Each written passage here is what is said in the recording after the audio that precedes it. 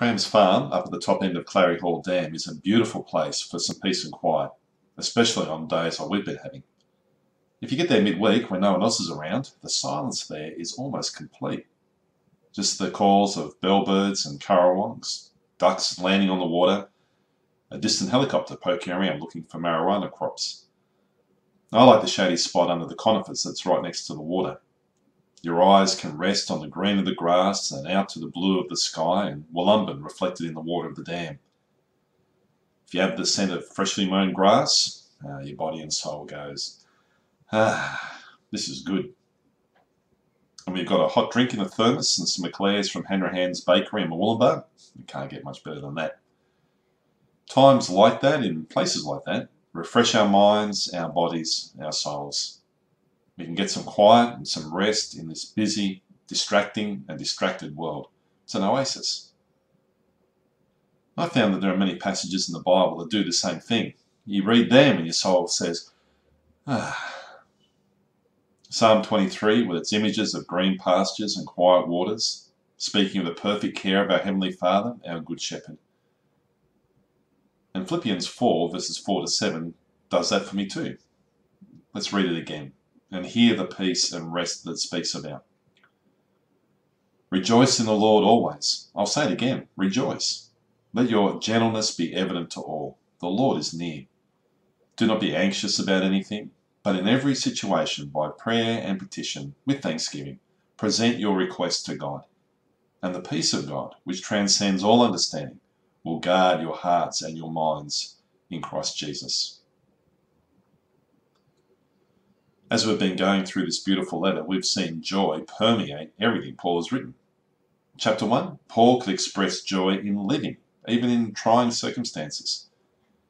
When Jesus becomes the reason for our existence and the center of our satisfaction, contentment replaces anxiety, and we're free to live in joy. In chapter 2, when we grasp what Jesus has done for us, it liberates us for joyful service service that takes delight in looking to meet other people's needs. Last week we saw in chapter 3 the joy of sharing.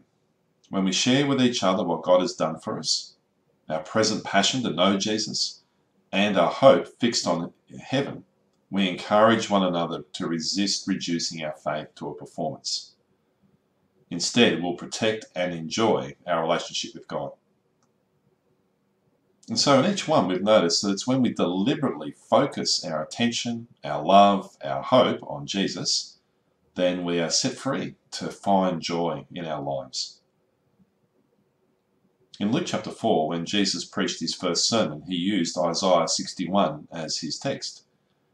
In it, he was saying that he he's come to bring freedom for the captives.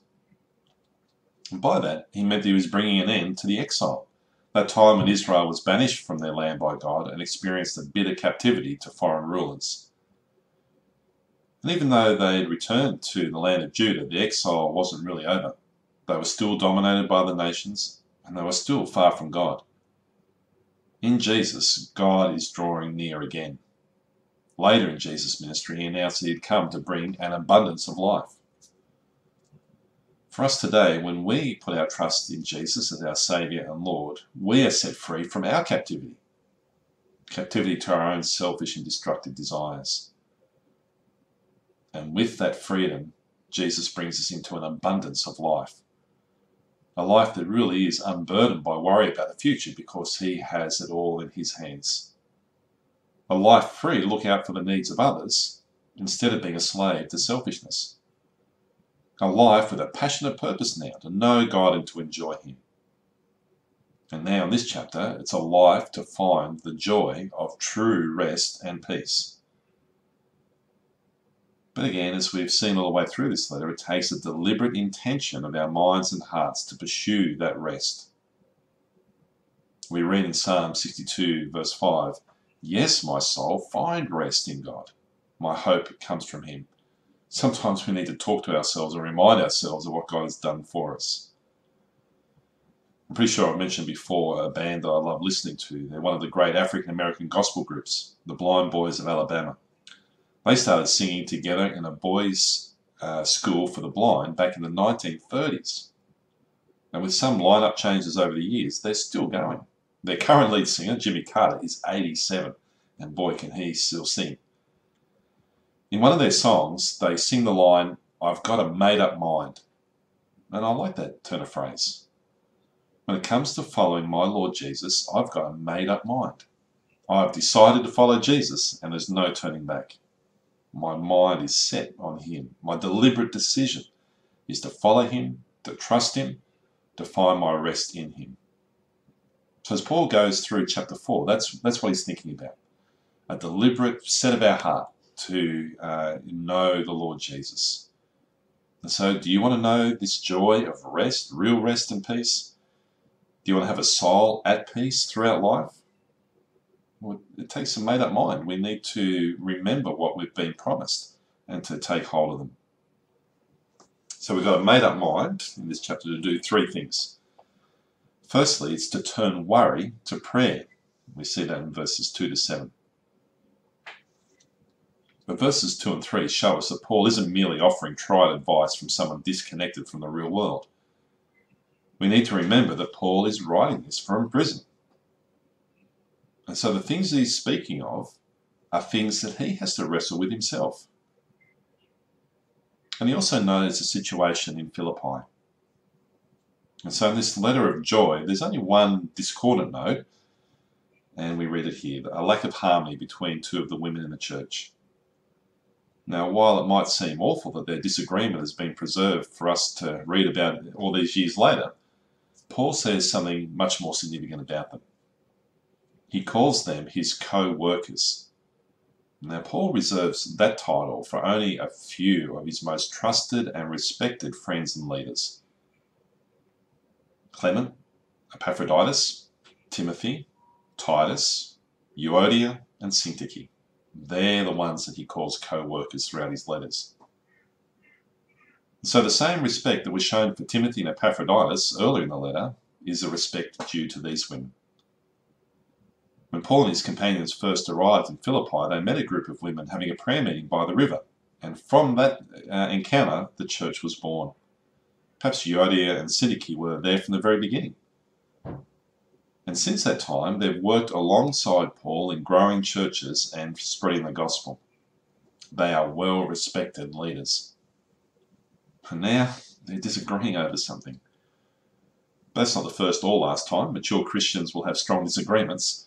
Uh, we see that throughout the Bible, in church history, in our churches today. Paul and Barnabas, Peter and Paul, both had their, all had their moments. And so after years of working well together, something relatively minor has got between these two godly women leaders. And it doesn't seem to be a case of one's right and one's wrong. Paul pleads equally with each to agree. He doesn't take sides. Our current culture seems to take delight in escalating disagreements into the stratosphere and then wanting to nuke the other side out of existence. And that gets particularly ugly when it seeps into churches. And we tend to wrap our opinions or our personal convictions in theological wrapping, so every issue is fundamental to the gospel, and those who disagree might not even be Christians, or certainly don't take the Bible as seriously as we do. We add layer and layer upon our disagreements and uh, our own opinions. You know, it's really very rare that any of our disagreements as Christians are that critical that they're fundamental to the gospel. It's a matter of heresy. And yet we still choose them as hills to die on or kill over. Sometimes we can get caught up in disagreements, and while we're in them, they consume our thoughts and our sleep, and we stress. We're losing the joy of being uh, one, some of God's people because we're caught up in these disagreements that suddenly seem so important and so awful. So Paul says to him in verse 4 Rejoice in the Lord always. And I'll say it again rejoice. In other words, he's saying, Do you get it by now?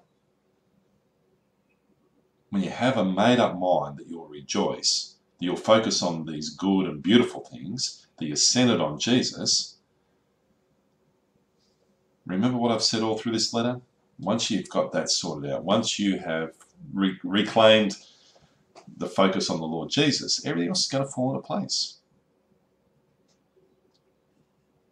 So the implication is that Euodia and Syntyche need just to have this made up mind on what's important, get back to the, the things that unite them, that work together in the gospel already, the gospel itself, and then this issue, whatever it is that's causing them grief, will be put in its proper perspective. Paul said you can agree on it. So how do you, but how do you do that? How do you uh, reclaim that uh, that center again and uh, and be focused back on the Lord Jesus when things are feeling really stressful? Well, we have a made up mind then to turn our worries into prayer. So he says, Do not be anxious about anything, but in every situation, by prayer and petition, with thanksgiving, present your requests to God.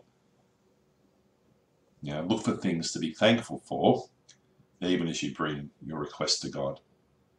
Know, Paul's already addressed that joy stealer, worry, back in chapter 1, so I won't spend too much time on it now. But enough to say that worry is taking our focus off God and staring at our problems instead. They become the big thing, not God.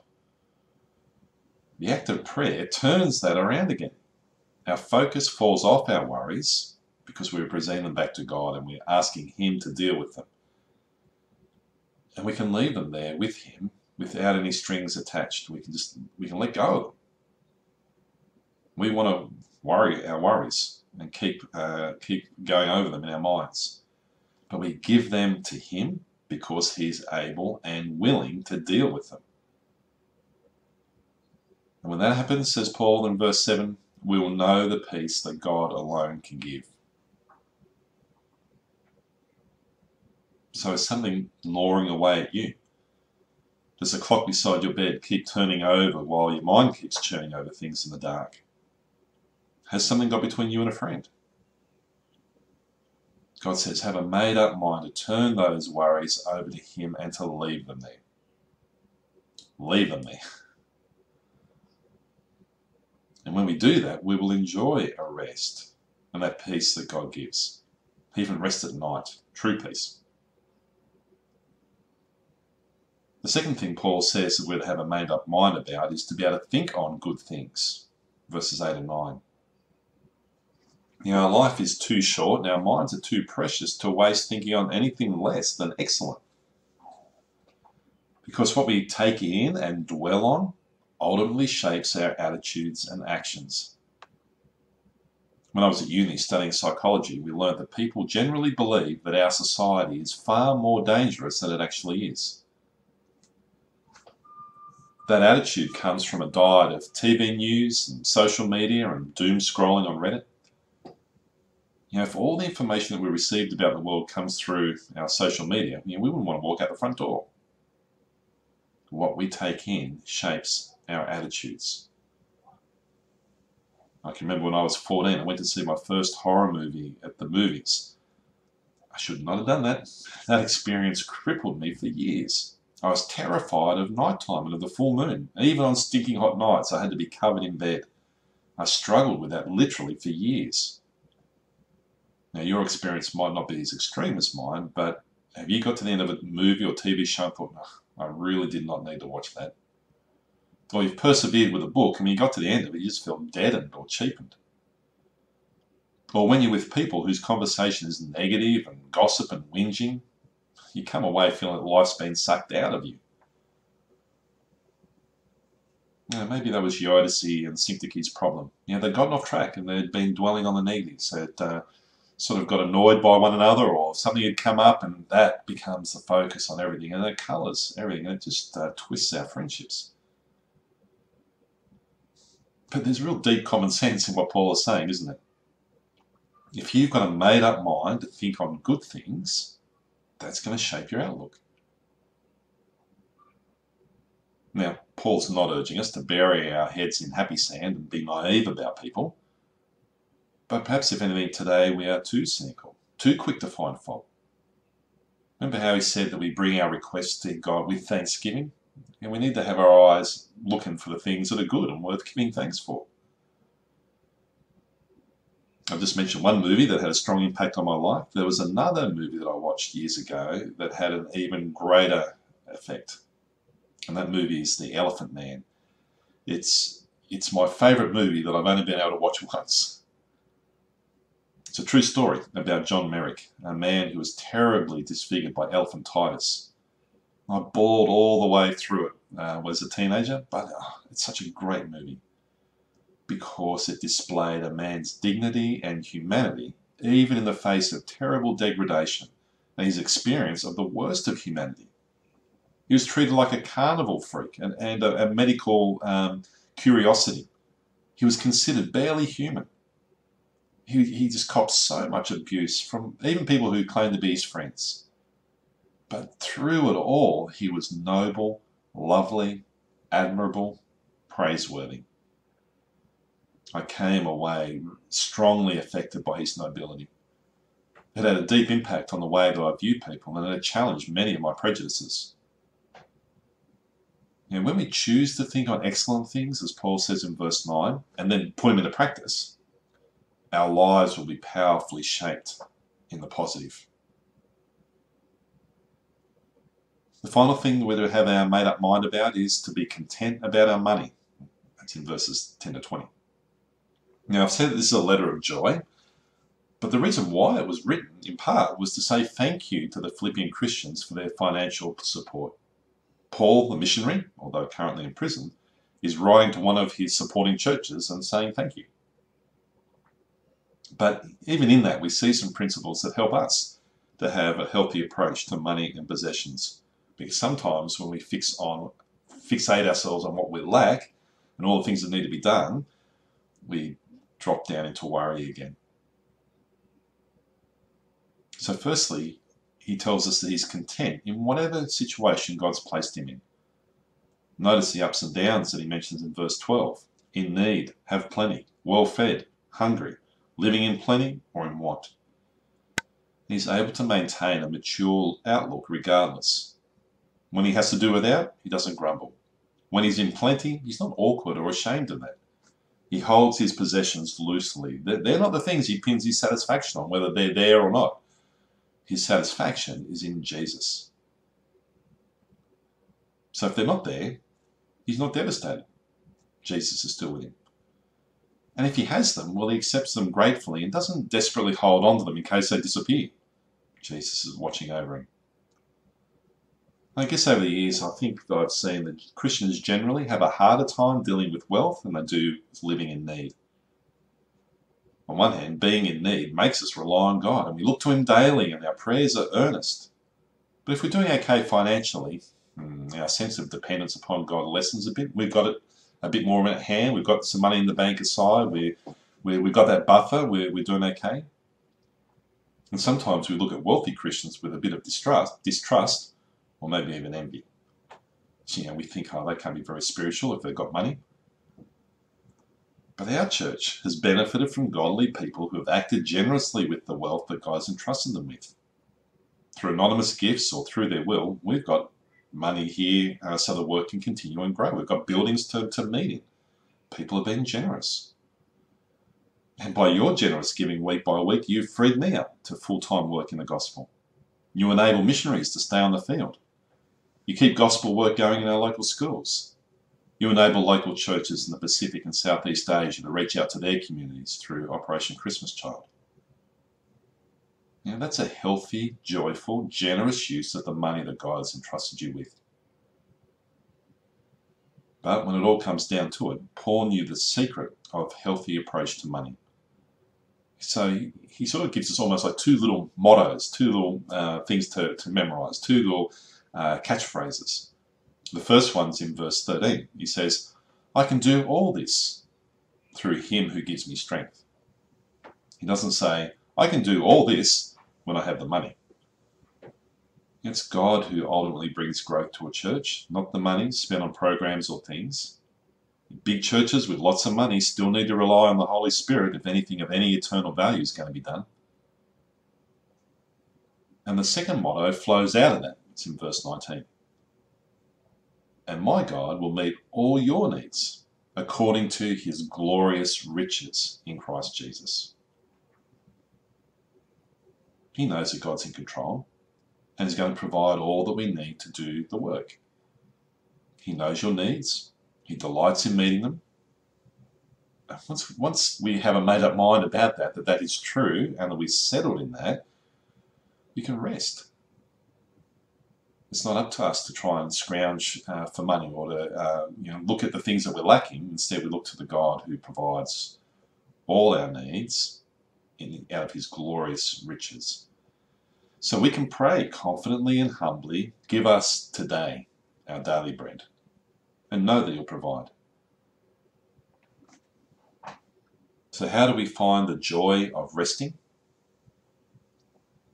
When we have a made up mind to turn our worries to prayer. We have a made up mind to think on good things. And we have a made up mind to be content. And in that, we will know the peace of God. In all, after all our worry and stress, we can finally let our minds and souls relax. We know that God is in control and when we're trusting Him, He holds us in the palm of His hand. But in the busyness and the routines and the chores and everything that sort of makes a week flash by, sometimes we might need to go to Cram's farm just to stop, to, to make our bodies and brains stop for a moment and rest and remember these things that are true. Maybe we need to take the weekends and days off and holidays that are available to us and that might be especially true for those of us who are retired and yet find ourselves busier than we ever were. But then sometimes our minds won't stop and our hearts won't stop crying. Part of having a made up mind is having our minds saturated in the promises of Scripture. So that's why that's uh, why for the next couple of months we'll be looking at some of those the weeping songs in the Psalms, those Psalms of lament, Psalms that help us express these things, how they can navigate, help us navigate the pain, and find the peace of God that transcends all understanding.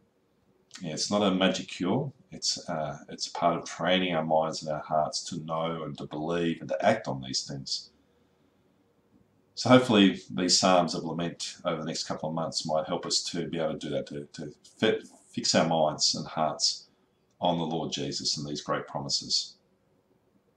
But with these things in mind, let's come to God in prayer. Let's pray.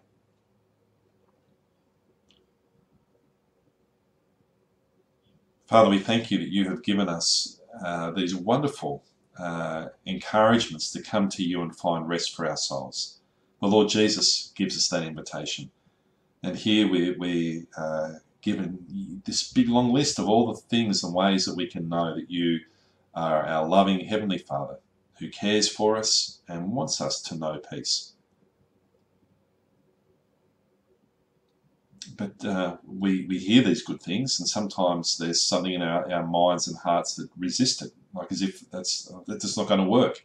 These worries are too big but train us in our thinking and in our heart language to be able to